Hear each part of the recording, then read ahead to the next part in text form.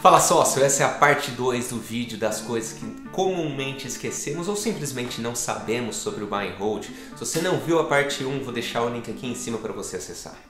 E se é a sua primeira vez aqui no canal, seja muito bem-vindo. Meu nome é Rodrigo Vicari, eu sou músico profissional aqui na Irlanda e investidor na Bolsa de Valores. E se você tem interesse nesse tipo de conteúdo, investimento, mindset de sucesso, construção de patrimônio, como levar uma vida tranquila com todo esse cenário caótico de Bolsa de Valores, eu peço que considere se inscrever aqui no canal, que a gente vai falar muito sobre isso. E sem mais delongas, vamos ao primeiro tópico. Fiz, eu nem investia na bolsa de valores ainda, eu fiz uma pesquisa na minha faculdade, só por curiosidade, num trabalho, é, porquê que as pessoas não investem em bolsa de valores. E a resposta padrão foi: não tenho conhecimento para tal. Aí você entra na internet, pesquisa sobre bolsa de valores e as pessoas estão simplificando isso. Falo, de fato, você não precisa ter muito conhecimento, a bolsa de valores é simples. É verdade? É. Bolsa de Valores é simples, você precisa basicamente saber as operações matemáticas e saber ler contabilidade. Pô, sócio, Peter Lynch, o cara é um gênio, ele falou isso e você está dizendo que a gente tem que ter conhecimento? Então, para que ter tanto conhecimento? Pelo seguinte, quanto mais conhecimento você tiver, menos você vai se sabotar quando você sabe exatamente ao risco que você está se expondo e como que isso pode te trazer retorno a longo prazo, as chances de você tomar uma atitude no desespero por emoção é muito menor. Você é o seu principal inimigo dentro da bolsa de valores. Por isso que o conhecimento ele é recomendado. Ele não é garantia de rentabilidade, mas ele é garantia de mente fria, segura, tomando a decisão e seguindo o plano. Posso trazer de novo o exemplo da M. Dias? A M Dias ela vem sofrendo muito com o aumento do dólar, consecutivamente aumento do preço do trigo. Só que o que, que acontece? Quando você vê o resultado sendo disponibilizado, você vê que caiu metade do lucro, você pensa, ah, a empresa perdeu os fundamentos. Se você for um pouco além, você vai entender que o dólar aumentou para todo mundo, o trigo está mais caro para todo mundo, para os concorrentes dela também. Então, quando você entende que se está impactando para ela, está impactando muito mais para os seus concorrentes, você entende que na verdade pode ser uma oportunidade para ela de crescer mais ainda o market share a longo prazo. Mas se você se conteve apenas a verificar que o lucro dela caiu em 50%, você provavelmente você vai desistir da empresa, vai achar que ela perdeu os fundamentos, ah, mas então você está falando que é para não investir? Não, estou falando que é para você saber o que você está fazendo. Sempre busque saber o que você está fazendo. Você pode perder no finalzinho, mas isso faz parte do jogo, tá? O que, que acontece? A bolsa de valores é um investimento a longo prazo. Mas conforme você vai chegando no ponto em que você quer usufruir da independência financeira, por exemplo, eu quero juntar dinheiro por 30 anos, aí usufruir dele. Mas quando tiver nos últimos 5, 3, 2 anos, o que pode acontecer é que isso vira curto prazo. E curto prazo tudo pode acontecer. Inclusive uma crise, inclusive uma queda gigantesca no seu patrimônio. Tem como se precaver quanto a isso? Tem. E eu vou gravar um vídeo também aqui, deixar o card aqui para vocês, especificamente como durante o caminho você pode se preparar para que você usufrua de uma forma tranquila do seu patrimônio no futuro. Não são só as cotações caindo, é o mundo pondo em xeque a sua incerteza. Você foi lá, você fez a sua pesquisa corretamente, você analisou o setor, você analisou o case, você viu a perenidade do negócio, perspectivas futuras, você viu os balanços, você está super confortável em investir na empresa. E se hoje a cotação ela desaba 50%, você fica tranquilo porque você sabe exatamente onde você está investindo, certo? Ótimo. O grande problema é que uma análise de uma empresa é algo muito subjetivo. É impossível você objetivar 100%, porque a gente está falando de um organismo vivo. A gente está falando de pessoas trabalhando lá dentro. Pessoas têm humores, pessoas variam, elas mudam de ideia, elas podem ser produtivas um dia, improdutivas no outro, elas podem tomar uma decisão errada, elas podem ter uma visão errada.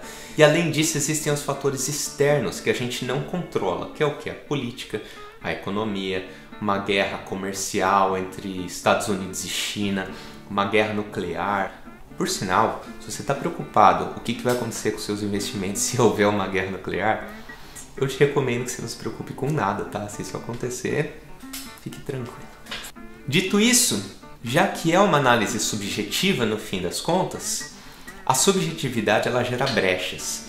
E você pode ter certeza que no momento da crise, no momento que sua cotação cair, ela virá acompanhada de uma tonelada de notícia ruim, que vai pôr em xeque a sua certeza, porque alguma delas vai atacar exatamente onde você deixou de analisar. E esse é um mal do buy and hold, é um ponto de fragilidade do buy and hold que é os erros que você comete hoje, talvez você pague eles daqui 5, 10, 15, 20 anos. E quando esse ponto for atacado, você vai pôr a sua certeza em xeque. Mas o objetivo aqui não é dizer que você sempre vai errar nas empresas. Não é isso.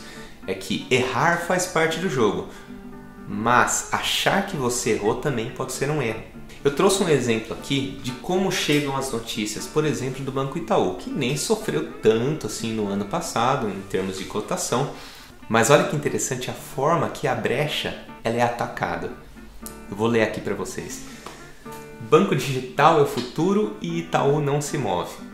Itaú é gigantesco, você acha que ele não se move, mas tudo bem. E essa é muito legal, essa é muito boa. Presidente do Itaú diz que transformação digital do setor bancário os angustia todas as noites. Olha que sensacionalista! E claro que você vai ficar, pô, como que eu não pensei nisso? Acho que a era do Itaú já foi. Você vai se questionar.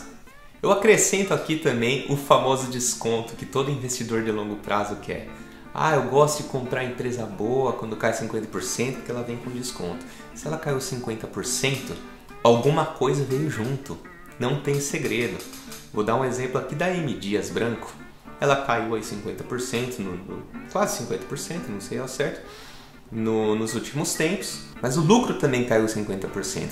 Então aquele mesmo investidor que estava esperando o desconto, ele vai ficar receoso de aportar mais uma empresa que está dando 50% menos de lucro. Você concorda? Do outro lado a gente tem a VEG, que faz anos que não apresenta uma notícia ruim e faz anos que também não cai a cotação. Portanto, qual é a ideia geral daqui? Se a cotação cair, os fundamentos também de alguma forma vão cair, ou o risco daquela empresa vai aumentar, tá? Então, sempre que você vê notícias, eu, eu recomendo que você não as veja, vá direto na fonte da empresa. Você estudou a governança daquela empresa, você confia no que eles estão te falando? Ótimo, então vai direto no RI. Pegue os relatórios do RI, liga lá, manda um e-mail para eles. Você é sócio da empresa, você tem o direito e dever de pedir satisfação, pedir informação para eles, tá? Não deixe se levar por notícias, tome suas decisões baseadas em fatos e siga seu plano. Pois é, na prática é muito mais difícil que na teoria. O método é bom, a estatística histórica é comprovada, vai dar resultado, porém quando chega na prática é muito mais difícil, porque é difícil juntar dinheiro. E é difícil você ver ele sendo devorado em 80, 90%, em pequenos períodos, cheio de notícia que o mundo vai acabar. Então, o que é importante quando você for investir em renda variável é ter o controle de risco. É uma das chaves do sucesso, é ter o controle de risco. Eu vou gravar um vídeo e deixar o card aqui para vocês sobre controle de risco, especificamente sobre isso. Porque quando a gente fala de acumular patrimônio, rentabilidade ela está em terceiro lugar. O primeiro é quanto você ganha. O segundo, quanto você poupa. O terceiro, quanto que isso te rende. Se você ganhar mil reais e poupar 80%, não é tão eficaz quanto alguém que ganha 10 mil reais e poupa apenas 20%. Se você poupa 15 mil por mês, uma rentabilidade de meio por cento, mas você consegue poupar todos os meses 15 mil, isso é muito mais eficiente do que quem poupa, por exemplo, 100 reais todo mês numa rentabilidade que é o dobro de meio por cento. Então a rentabilidade ela entra no terceiro ponto de importância. Então não é vergonha nem fracasso se você somente investir em renda fixa. É possível sim ficar rico desse, dessa forma. Mas você tem que estar focado no seu trabalho, você tem que ganhar dinheiro. Bolsa de valores é um catalisador do seu dinheiro. E por último, sim, a tendência de qualquer crise é que ela cabe, mas alguns ativos podem ficar pela crise. Foi o que aconteceu na crise de 2008. A maioria dos bancos americanos já voltaram em seus patamares normais, porém o Lehman Brothers quebrou, faliu. Então tenha isso em mente. Como se prevenir disso? Vou colocar um tópico extra aqui. Vou ter que colocar um tópico extra aqui. Não tem como. Falei que eram só 10, mas vou ter que te dar mais um. De lambuja. Só a diversificação salva. Quando você tem 10, 15, 20, 30 ativos, 50 ativos, não existe limite de ativos que você possa ter. Ah, mas vai banalizar, vai. Esquece isso, esquece isso. Quanto mais ativos, melhor.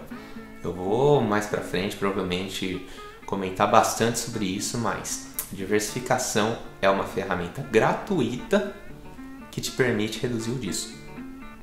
O risco. Se uma empresa das 30 que você investe vai à falência, ela não corresponde a nada. Peter Lynch, no livro. Esse livro aqui. Esse aqui embaixo, One Up Wall Street. Ele fala que se você acertar 6 em 10 é ótimo. 7 em 10 é uma benção, 8 em 10 você é extraordinário. Cuidado para não acertar 10 em 10 porque muitas pessoas elas são investigadas por isso, viu? Acho que aconteceu recentemente.